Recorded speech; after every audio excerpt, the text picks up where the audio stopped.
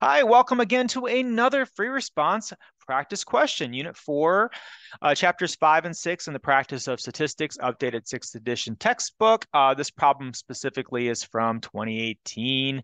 Uh, this is the most recent one. If you notice, these have all been question number threes, so it seems to be a very popular question to put these, uh, these probability type questions on. Um, free response question number three, 2018 and again, if you're looking for scoring guidelines, you certainly are welcome to go up here uh, to that bit.ly link and you can uh, uh, you can try the problem on your own first and look at the scoring guidelines and check to see how you did. Uh, let's look at the, the questions.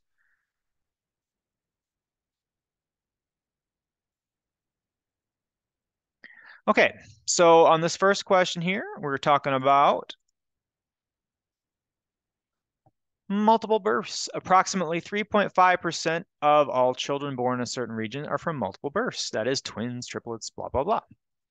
Of the children born in the region who are from multiple births, 22% are left-handed. Of the children born in the region who are from single births, 11% are left-handed. And we have a few questions to answer uh, in relation to that. Uh, what's the probability that a randomly selected child born in the region is left-handed? So it looks like we might have to do a tree diagram here, right? Because we have uh, multiple groups coming together. We want to know what's the probability of left-handed. Um, so I'll just do like a tree diagram here. That's probably what's going to happen there. What's the probability that a randomly selected child born in the region uh, is a child from a multiple birth, given the child is left-handed? So it looks like we're going to have to do a conditional. So that's a given, given, given, given. Remember, that's the symbol.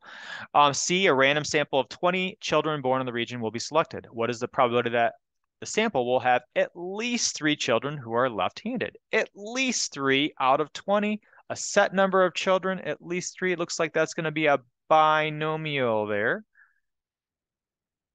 And then part D, are the events multiple births and left-handed independent? Explain your answer.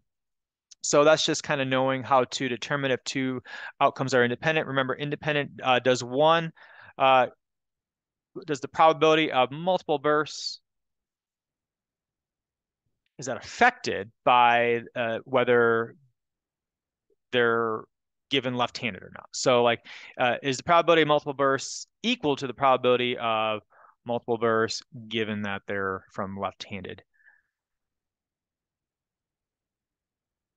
So we want to kind of test those to see if they're equal, uh, then that would make sure that they're independent or not. All right, so let's get into question A. What's the probability the randomly selected child born in the region is left-handed? Go ahead and do a good old-fashioned tree diagram for that. And first thing I'm going to do is um, I'm going to say multiple births and not multiple births. So multiple births, we're talking about 3.5%, uh, so 0.035. So that means, let's see, 96.5, 0.965 is going to be from uh, non-multiple bursts. And then I'm going to branch off into left-handed versus right-hand. So I'll just do LHRH. I suppose there could be like ambidextrous. Uh, so I'll just left left-handed and not left-handed, I guess would be better, but we'll say left-handed, right-handed just for purposes here. And it looks like from multiple bursts, we're looking at 22%, so 0.22. Um, so 22% uh, from 100 is 78%. And then 11% from the um, single bursts, and um, that'd be 89%. And then finally, at the end, we want to do your ands. And remember, your ands should add to 1. So um, those multiply together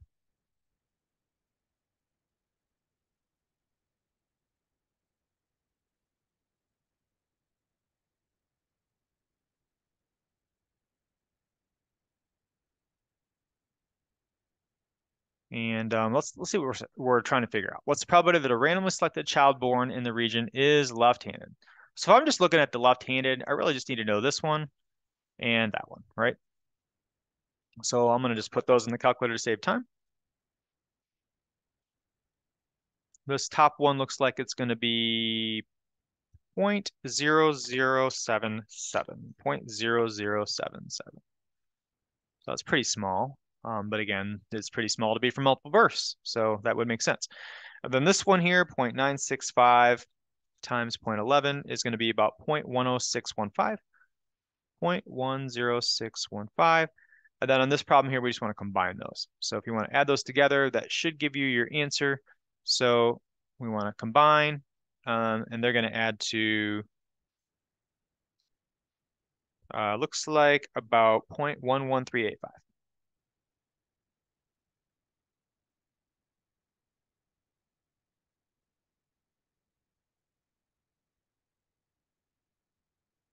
So again, to answer the question, the probability that a randomly selected person in the region is left-handed, they could be either from multiple births or not multiple births. You want to add those two together after you do your multiply, and you get that 0.11835.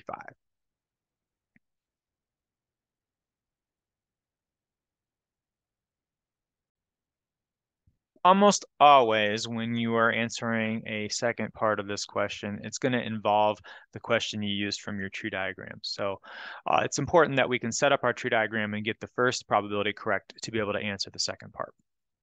This question is no exception. What's the probability that a randomly selected child born in the region is a small is a child from a multiple birth given they are left-handed? So we're given left-handed. So really the setup is probability um, multiple birth given left-handed, which is the same as probability multiple birth and left-handed divided by the probability of the left-handedness. Well, we have the left-handedness. That's this 0.11385, which we just calculated. So uh, the numerator is going to be the one that comes from the multiple birth. So if we look at, a, you know, if you're kind of tracing along there, you're going to say, well, I'm going to go to the multiple birth one and I'm gonna find this one here, and then that's gonna be what goes on the tops, right? So this is your numerator. So it's gonna be 0.0077, and then this is gonna go down here. So in other words, what percent of the left-handed people come from multiple births? That's what we're trying to calculate. Um, so divide those two out.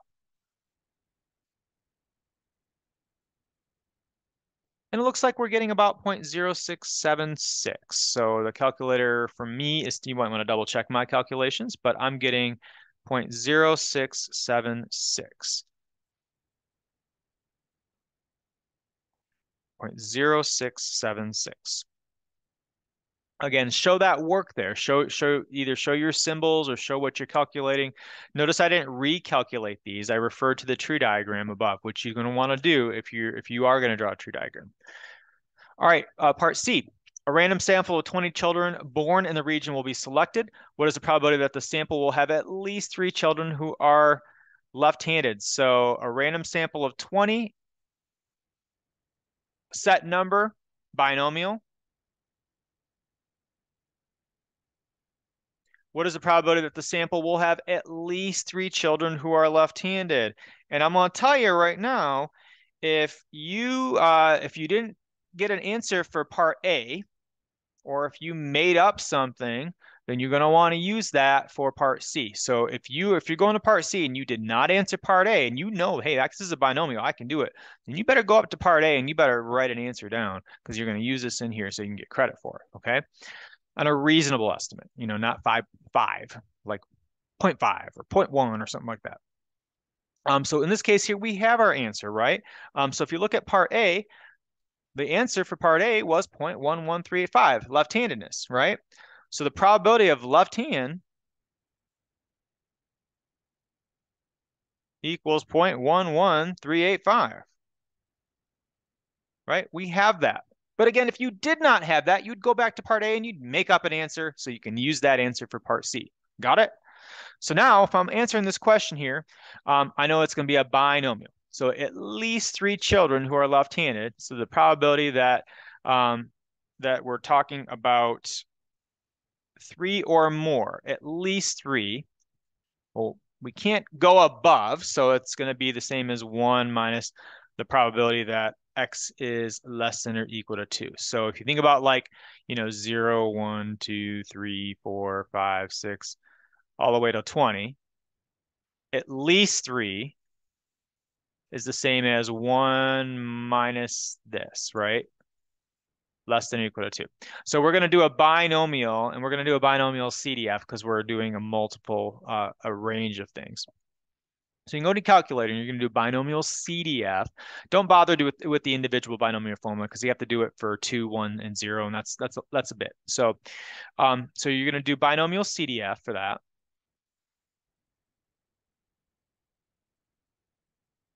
Again, write binomial CDF, define your inputs, n equals 20. Uh, P is, again, you're going to use that 0.11385. And X is, you said to say less than or equal to 2. Don't say X equals 2 because it's a CDF, so it's less than or equal to 2. So we're going to subtract that from 1.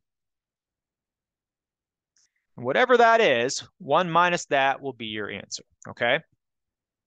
So let's calculate that. Okay, so binomial CDF, second vars, uh, go up a few times, go to binom CDF, trials 20, P 0.11. You, I mean, if you're if you round differently, it's fine. 0.114 is fine. Um, I, I'm just going to use all the decimals I have. X is two, two or less, so two, one, and zero. Two, one, and zero. It's, it's adding them three together. And that's going to give us about 0.59785, 0.59785. So 1 minus 0.59785 would be that over there. And so that's going to give you about 40%. 40.2%, so point uh, 40215. So the probability that the sample will have at least three children who are left-handed is approximately 40.2%. Binom CDF, binomial CDF. Last question. Are the events multiple births and left-handed independent? And we actually calculated these already. Multiple births, Multiple births, that's given to us. Multiple births, the probability of multiple births is right there. 0.035, 3.5%. So that's already given to us. What we want to find is the probability of multiple births, knowing that they're left-handed. Does that change the probability? Well, guys, we already calculated that. It's right down here. Multiple births given left-handed is 0.0676. Right? So we got that in part, what? Well, that was, that was part B. So you can reference that if you want. Now, guys, these are not the same, okay? These are not equal to each other. Since the probability of multiple births is not equal, to the probability of multiple births, given that uh, they're from left-handed people, um, then the, the left-handedness change the outcome of the multiple births. So since uh, since probability of multiple birth is not equal to probability of multiple birth given left-handedness, uh, they are not independent. That means they're kind of like dependent, right? It means like it means you're more likely to be left-handed uh, from a multiple birth than you are from just in general. Uh, but that's generally this, the the general rule um, here. If, if they're if they are equal, they're independent. If they're not equal, they're not independent. Uh, thanks for watching, guys. You are uh, awesome. I hope that whoever you are watching this video, it helps you kind of understand a little bit about some probability.